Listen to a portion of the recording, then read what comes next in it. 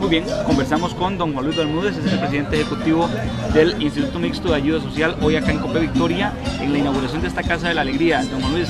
de la labor que tiene Limas, cuánto representa de importancia esta inauguración al día de hoy. Para nosotros es de muchísima importancia esta celebración por dos razones.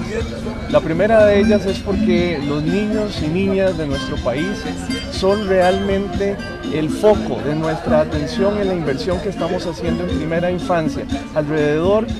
de ya 56 mil niños y niñas en todo el país están teniendo acceso a alternativas de cuidado y desarrollo, de tal manera que cuando sus padres o sus madres se incorporan a opciones de capacitación o bien al trabajo, pueden contar con la seguridad de que sus niños están bien alimentados, bien estimulados en opciones como estas, como las de la Casa de la Alegría. Y también porque presentamos la sistematización de las Casas de la Alegría como un modelo especial en el cual se conjuga el esfuerzo público y el esfuerzo privado y también el esfuerzo de las cooperativas, en un modelo en el cual mediante alianzas logramos que el Instituto Mixto de Ayuda Social brinde el subsidio para que estos niños se encuentren recibiendo el servicio al mismo tiempo que los productores privados brindan los, eh, los locales las instalaciones en las cuales se desarrolla el servicio y las cooperativas nos ayudan a administrar esos recursos de tal manera que mientras se da la cosecha de café e incluso cuando se extiende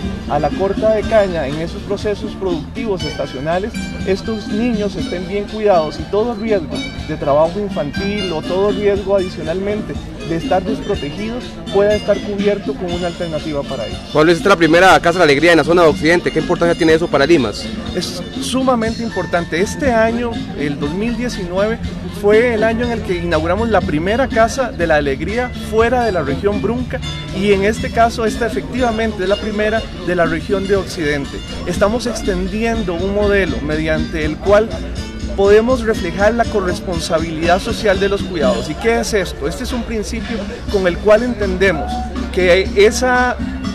histórica herencia que le dejamos a nuestras mujeres, en las cuales decíamos que ellas eran las responsables del cuidado, no era justa y que corresponde entonces a las familias, a las comunidades, a las empresas asumir la responsabilidad del cuidado de nuestros niños y niñas, de tal manera que nuestras mujeres, pero también hombres de, de los hogares, principalmente los que más necesitan, puedan incorporarse a generar los ingresos para llevar bienestar a sus familias.